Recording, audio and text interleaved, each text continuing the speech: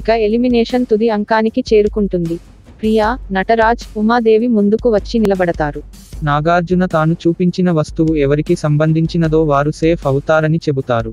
ప్రియాకి సంబంధించిన వస్తువు చూపించడంతో ఆమె సేవ్ అవుతుంది.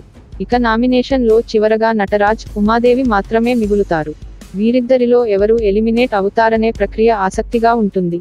ఇద్దరికీ Nag carbon dioxide guns ఇస్తారు. నాగ్ చెప్పిన కౌంట్ డౌన్ ముగిశాక ఎవరి గన్ నుంచి కార్బన్ డై ఆక్సైడ్ వస్తుందో వారు safe Nataraj gun carbon dioxide release చేస్తుంది. ఉమాదేవి గన్ నుంచి రాదు. దీనితో ఆమె ఎలిమినేట్ అవుతుంది. ఉమాదేవి ఎలిమినేట్ అయ్యారు అని తెలియగానే నటరాజ్ లోబో ప్రియాంక ఎమోషనల్ అవుతారు.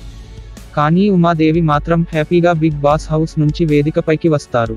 హౌస్లో ఒక్కొక్కరి గురించి చెబుతూ వారి ఫొటోస్ ఉన్న కుండని పగలగొడతారు. లోబో గురించి మాట్లాడుతూ మా ఇద్దరి రిలేషన్ గురించి ఇంకోలా అనుకుంటారు. కానీ మేము ఏంటో మాకు తెలుసు. మేమిద్దరం కలిసి వర్క్ చేశాం అని ఉమాదేవి అంటుంది. ఇక ఎలిమినేషన్ తుది అంకానికి చేరుకుంటుంది. ప్రియా నటరాజ్